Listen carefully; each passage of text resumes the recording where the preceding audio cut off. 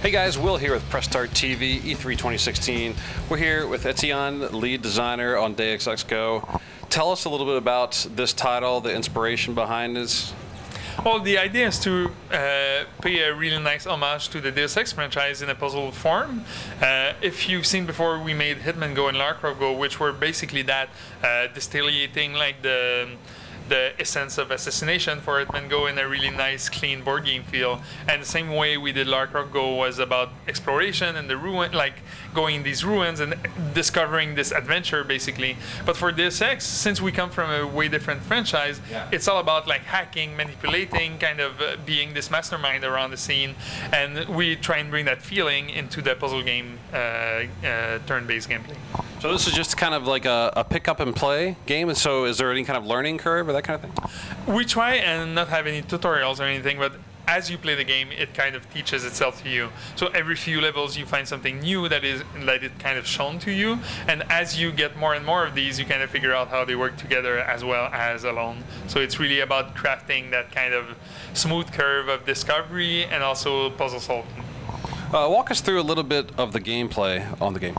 Right. So you play as Adam Jensen. Uh, you have access to different augmentations. Uh, you use energy, uh, and turn by turn, you uh, basically just as you move, the enemies react, and the guards go after you and they chase you. And if they lose you, they go back to their post. And if if you encounter a guard that's been alerted, you can kill them. They're armored.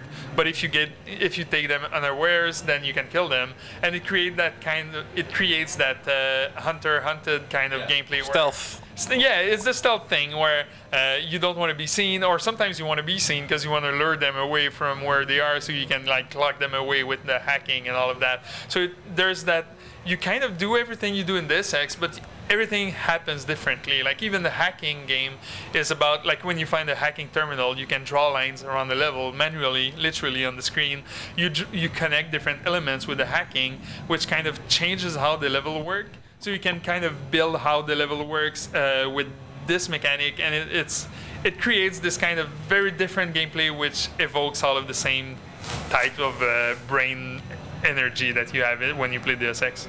Sure, and and then being a mobile game, I mean, uh, th- this is a a campaign style game, right? There's a story to it, and Yeah, well, uh, yeah, we kind of take place in even it, it's kind of vague because we don't want to put all of the details there. It's still like a very a much simpler experience, but we do actually uh, take place just before Mankind Divided in story, and it's all about like Jensen and his uh, involvement with the the um, Task Force 29 and the collective and all of that. So yeah, there's that element. so if you're familiar with the universe and um, you want to get involved, you can kind of do something else that takes, like you said, takes place before it. So I, I love that. I love uh, being able, to, you know. Yeah, well, th- the idea was to kind of have that nod, that franchise for the fans, because they're going to recognize Jim Miller, they're going to recognize Alex Vega, all of them.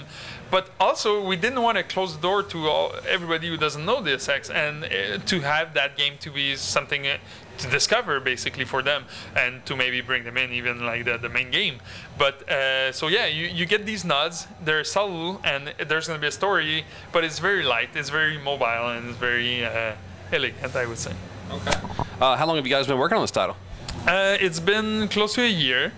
Uh, it's very short cycle. We're a small team in Montreal, uh, and we work closely even with Eidos. We kind of had some meetings over over the year to make sure it was on, on brand, make sure they liked it, and they, they absolutely love it. So we're really happy about that.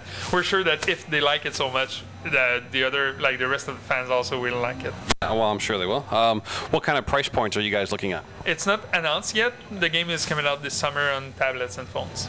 Apple phones, Android, Apple. Well, Uh, yeah, probably. Yeah, yeah. Excellent.